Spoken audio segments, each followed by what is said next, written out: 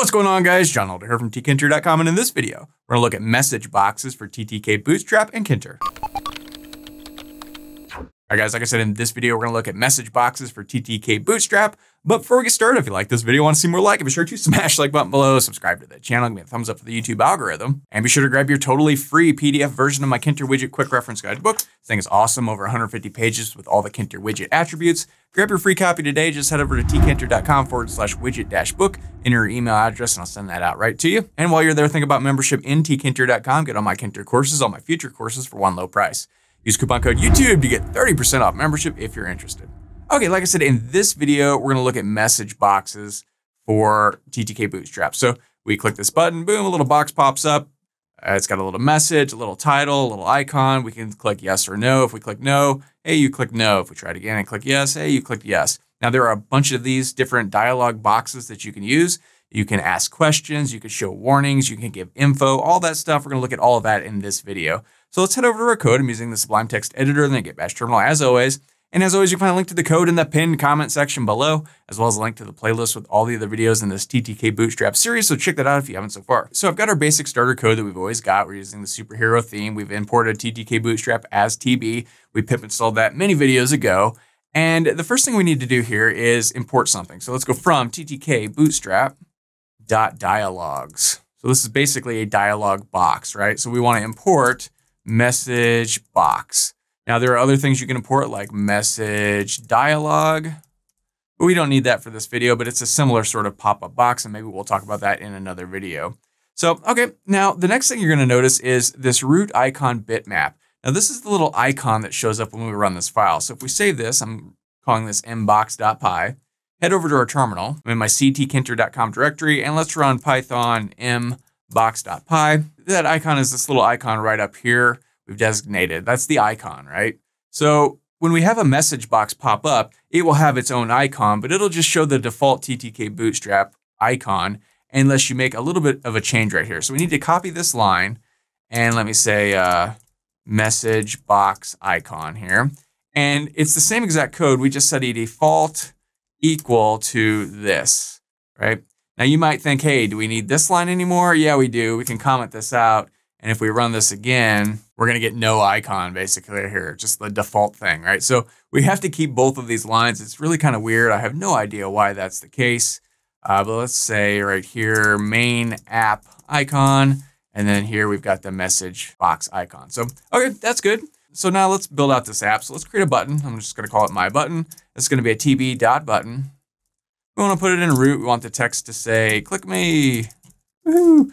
And let's give this a boot style of, I don't know, danger to make it red, and a command of, I don't know, clicker, right? So, so every time this button gets pressed, we want to run the function clicker. So we don't have that yet. We'll create that in just a second.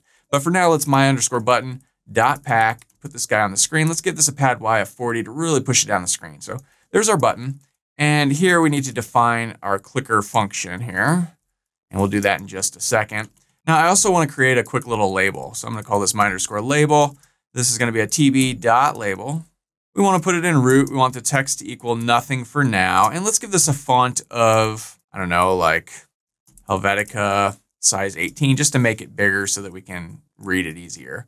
And then let's my underscore label dot pack. And I don't know, give this a pad Y of 20, push it down the screen a little bit. Probably don't need to do that, but okay.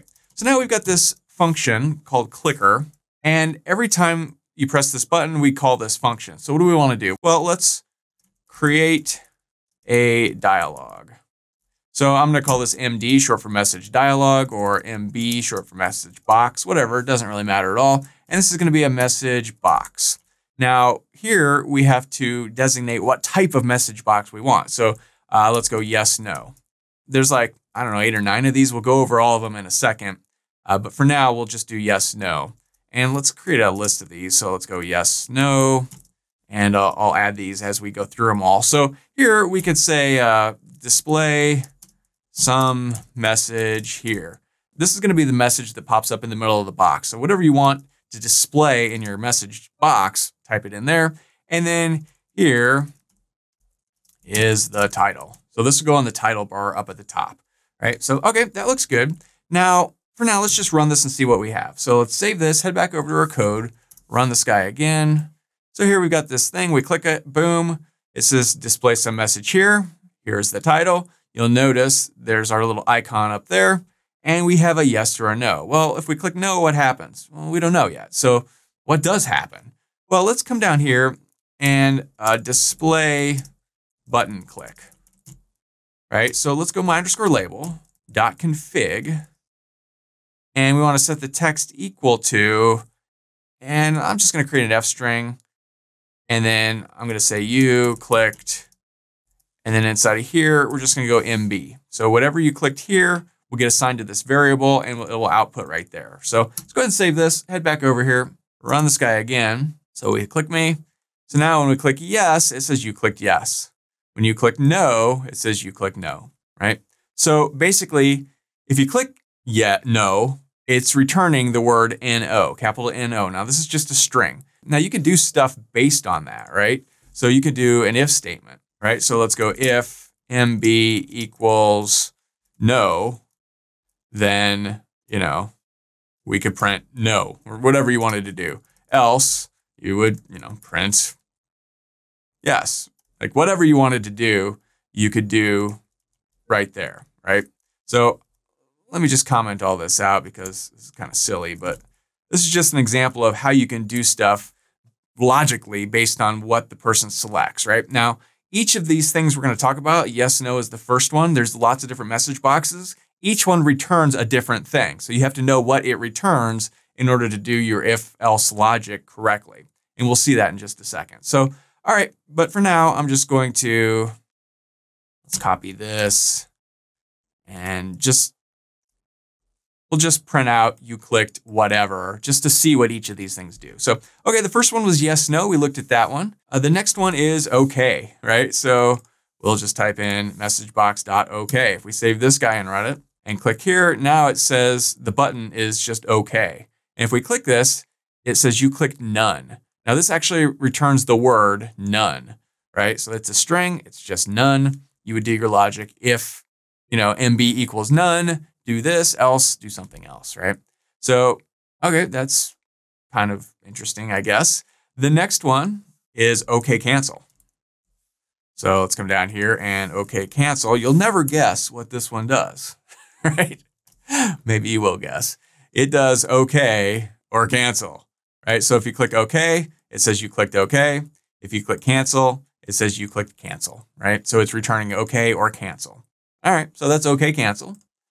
Now, obviously, whatever you want to do in your app, that's going to determine which of these you use, right? If you want to give the user the ability to cancel or click OK, you would use OK cancel. If you want them to answer a question, yes or no, you would use yes or no, right? If you just want to give them a message and have them close it, you might just use okay, right? It just determine it just depends on what you're trying to do in your app, right? So, okay, the next one is show info. So, actually this is show underscore info. In regular Tkinter, it's show info without an underscore, and in TTK Bootstrap. For some reason, it's show underscore info. I'm not sure what's going on there, but that's what it is. So again, we can come up here and here it says display some message here, but it has this little icon, this little info, right? You're showing info. This is the little info icon, right? And if you click OK, it returns none. So, okay, maybe you want the little icon, info icon to pop up. If so, you would use show info, right? Uh, we also have show error, right? So this one's actually kind of interesting, right? Because uh, if you know if you're doing error handling in your app and you want to show an error that's popped up, you would probably want to use this. And this is nice because I don't know if you could hear that or not. It made a little ding. It went ding, a little warning ding, and it also has this big red X, like warning, right? So that's interesting. If we click OK, it returns again none. So all right, that's cool. So okay, that's cool. Let's show error, and we also have show underscore question. So we can change this one to show underscore question. Save this guy, clear the screen. It's getting unruly. Run this guy again. And here we get this little question mark and we get yes or no. Now, if we click yes here, it says yes. If we click no, it says no. Again, you'll hear, you'll hear maybe it'll pick it up on the microphone. A little ding and ding, right? So that's what that does. So, all right, that's cool. Oh, that was interesting. Let's run that again. I probably should have mentioned that.